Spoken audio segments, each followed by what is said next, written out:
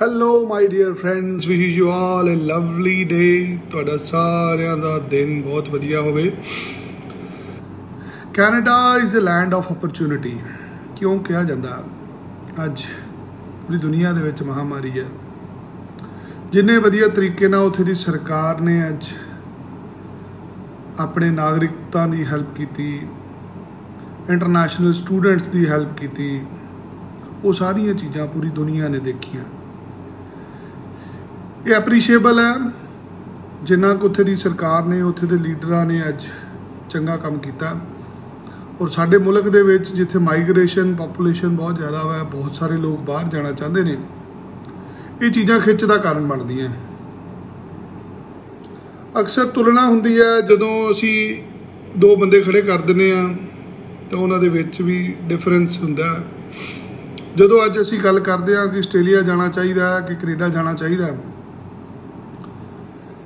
ਜੋ ਉੱਥੇ ਦੀਆਂ ਸਰਕਾਰਾਂ ਨੇ ਬੱਚਿਆਂ ਦੇ ਨਾਲ ਵਿਵਹਾਰ ਕੀਤਾ, ਉਹਨਾਂ ਚੀਜ਼ਾਂ ਦੇ ਨਾਲ ਇਹ ਚੀਜ਼ਾਂ ਪੋਜ਼ਿਟਿਵ ਹੁੰਦੀਆਂ ਨੇ so finally Canada Canada Canada it is almost ਮੈਂ ਕਹਾਂਗਾ 10 ਟਾਈਮਸ ਗਰੋਥ ਹੈ ਅੱਜ ਇੰਡਸਟਰੀ 'ਚ।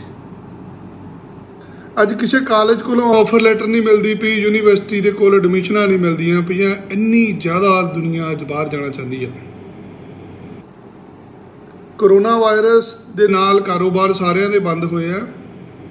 ਬਟ ਜੇ ਕੋਈ ਇੰਡਸਟਰੀ ਪੋਜ਼ਿਟਿਵ ਹੋਈ ਹੈ ਥੈਟ ਇਜ਼ ਇਮੀਗ੍ਰੇਸ਼ਨ ਇੰਡਸਟਰੀ ਇਥੇ ਹਰ ਕੋਈ ਬਾਹਰ ਜਾਣਾ ਚਾਹੁੰਦਾ ਹੈ। ਅੱਗੇ ਪਿੰਡਾਂ ਦੇ ਲੋਕ ਬਾਹਰ ਜਾਂਦੇ ਸੀਗੇ ਪੈਸੇ ਕਮਾਉਣ ਵਾਸਤੇ। ਅੱਜ ਚੰਗਾ ਅਮੀਰ ਬੰਦਾ ਵੀ ਚਾਹੁੰਦਾ ਵਾ ਕਿ ਉਹਦੇ ਵੀ ਬੱਚੇ ਬਾਹਰ ਸੈੱਟ ਹੋਣ। ਲੋਕ ਇੱਥੇ ਬੱਚਿਆਂ ਨੂੰ ਨਹੀਂ ਰੱਖਣਾ ਚਾਹੁੰਦੇ। ਕੈਨੇਡਾ ਨੇ ਅੱਜ ਦਰਵਾਜ਼ੇ ਖੋਲੇ ਹੈ। Student visa is a option ਕਿ ਤੁਸੀਂ 2-4 ਮਹੀਨਿਆਂ 'ਚ ਚਲੇ ਜਾਂਦੇ ਹੋ। ਤੁਸੀਂ ਬਿਜ਼ਨਸ ਮਾਈਗ੍ਰੇਸ਼ਨ ਲੈਣੀ ਹੈ ਤੁਸੀਂ ਵਰਕ ਪਰਮਿਟ ਲੈਣਾ, ਲੰਬੇ ਪ੍ਰੋਸੈਸ ਨੇ ਪੀਆਰ ਲੈਣੀ ਹੈ 6 ਮਹੀਨੇ, ਸਾਲ ਲੱਗ ਜਾਣਾ ਰਿਕੁਆਇਰਮੈਂਟ ਬਹੁਤ ਜ਼ਿਆਦਾ ਨੇ। ਔਰ ਜ਼ਿਆਦਾਤਰ ਸਾਡੇ ਪੰਜਾਬੀ ਵੀਰ ਉਹ ਰਿਕੁਆਇਰਮੈਂਟਾਂ ਪੂਰੀਆਂ ਵੀ ਨਹੀਂ ਕਰ ਪਾਉਂਦੇ। ਤੇ ਇਸ ਕਰਕੇ study visa is a best option ਅੱਜ ਜੋ ਪੂਰੀ ਦੁਨੀਆ 'ਚ ਹਾਲਾਤ ਬਣੇ ਹੋਏ ਨੇ ਅੰਗਰੇਜ਼ੀ ਦਾ ਟੈਸਟ ਆਇਲਸ ਨਹੀਂ ਹੋ ਪਾ ਰਿਹਾ। ਡੁਲਿੰਗੋ ਟੈਸਟ ਤੇ ਦਾਖਲੇ ਹੁੰਦੇ ਪਏ ਨੇ। ਵੀਜ਼ਾ ਨਹੀਂ ਦੇਖਿਆ ਕਿਸੇ ਨੇ ਵੀ। ਪਹਿਲੀ ਤਰੀਕ ਤੋਂ ਵੀਜ਼ਾ ਪ੍ਰੋਸੈਸਿੰਗ ਸ਼ੁਰੂ ਹੋਈ ਹੈ।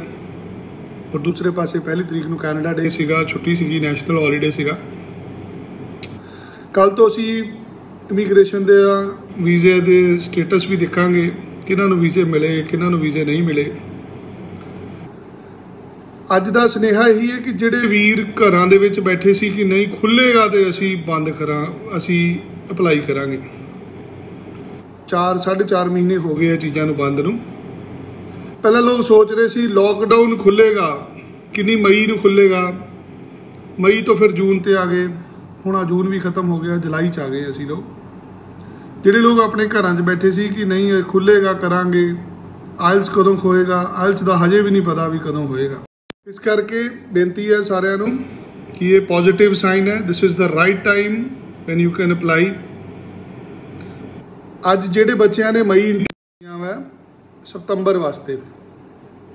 ਤੇ ਸਤੰਬਰ ਦੀਆਂ ਐਪਲੀਕੇਸ਼ਨਾਂ ਡੈਫਰ ਹੋ ਜਾਣੀਆਂ ਆਉਣ ਵਾਲੇ ਸਮੇਂ 'ਚ ਜਨਵਰੀ ਵਾਸਤੇ। ਤੇ ਬਹੁਤ ਘੱਟ ਕਾਲਜ ਨੇ, ਯੂਨੀਵਰਸਿਟੀਆਂ ਨੇ ਜਿਹੜੇ ਤੁਹਾਨੂੰ ਅੱਜ ਦਾਖਲਾ ਦੇ ਪਾਣਗੇ। ਅਸੀਂ ਤੁਹਾਨੂੰ ਦਾਖਲਾ 2 ਦਿਨਾਂ 'ਚ ਕਰਾ ਕੇ ਦੇਵਾਂਗੇ ਕੋਈ ਵੀ ਪੈਸਾ ਨਹੀਂ ਲਿਆ ਜਾਏਗਾ ਦਾਖਲੇ ਦਾ। ਸਾਰੇ ਪੈਸੇ ਤੁਸੀਂ ਵੀਜ਼ਾ ਲੱਗਣ ਤੋਂ ਬਾਅਦ ਦੇਣੇ ਆ। ਤੁਸੀਂ ਡੁਲਿੰਗੋ ਟੈਸਟ ਨਾਲ ਅਪਲਾਈ ਕਰਨਾ, ਤੁਸੀਂ ਗੈਪ ਦੇ ਨਾਲ ਅਪਲਾਈ ਕਰਨਾ, ਕਿਸੇ ਵੀ ਤਰ੍ਹਾਂ ਦਾ ਕੋਈ ਇਸ਼ੂ ਹੈ ਤੁਹਾਨੂੰ ਵੀਜ਼ਾ ਨਾਲ ਸੰਬੰਧਿਤ, ਤੁਸੀਂ ਸਾਡੀ ਟੀਮ ਨਾਲ ਗੱਲ ਕਰੋ, ਸਾਡੇ ਹੈਲਪਲਾਈਨ ਨੰਬਰ ਤੇ ਕਾਲ ਕਰੋ, ਅਪਾਇੰਟਮੈਂਟਸ ਲਓ, ਮੀਟਿੰਗਸ ਬਣਾਓ ਮੇਰੇ ਨਾਲ ਜ਼ੂਮ ਦੇ ਉੱਤੇ, ਤੁਹਾਨੂੰ ਸਾਰੀ ਦੀ ਸਾਰੀ ਜਾਣਕਾਰੀ ਘਰ ਬੈਠਿਆ ਮਿਲੇਗੀ। ਪੋਜ਼ਿਟਿਵ ਹੋਣਾ ਚਾਹੀਦਾ ਸਾਨੂੰ, ਜਦੋਂ ਅਸੀਂ 네ਗੇਟਿਵ ਸੋਚਦੇ ਹਾਂ ਤਾਂ ਸਾਡੇ ਨਾਲ 네ਗੇਟਿਵ ਹੀ ਹੁੰਦਾ।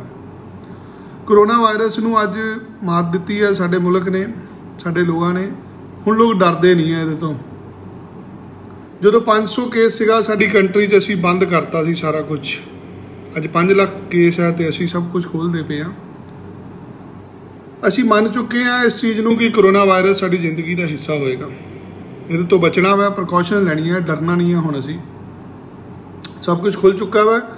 ਜਿਹੜੇ ਵੀਰ ਅਪਲਾਈ ਕਰਨਾ ਚਾਹੁੰਦੇ ਨੇ we are ready to take your application for September intake ਜਿਹੜੀ ਐਪਲੀਕੇਸ਼ਨ ਹੋਏਗੀ 2 ਦਿਨ ਦੇ ਵਿੱਚ ਵਿੱਚ ਤੁਹਾਡਾ ਐਡਮਿਸ਼ਨ ਹੋ ਜਾਏਗਾ 15 ਤੋਂ 20 ਦਿਨ ਦੇ ਵਿੱਚ ਵਿੱਚ ਐਪਲੀਕੇਸ਼ਨ ਐਮਬੈਸੀ ਨੂੰ ਚਲੇ ਜਾਏਗੀ।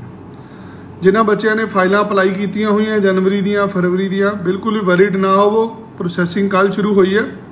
ਅਗਲੇ ਚੰਦ ਦਿਨਾਂ ਤੱਕ ਐਮਬੈਸੀ ਤੋਂ ਪੋਜ਼ਿਟਿਵ ਰਿਜ਼ਲਟ ਆਣਗੇ ਜਿੱਦਾਂ ਹੀ ਸਾਡੇ ਕੋਲ ਰਿਜ਼ਲਟ ਆਉਂਦੇ ਆ, ਅਸੀਂ ਆਨਲਾਈਨ ਸਾਰੇ ਬੱਚਿਆਂ ਨੂੰ ਮਿਲਾਵਾਂਗੇ ਵੀ ਤੁਹਾਡੇ ਨਾਲ।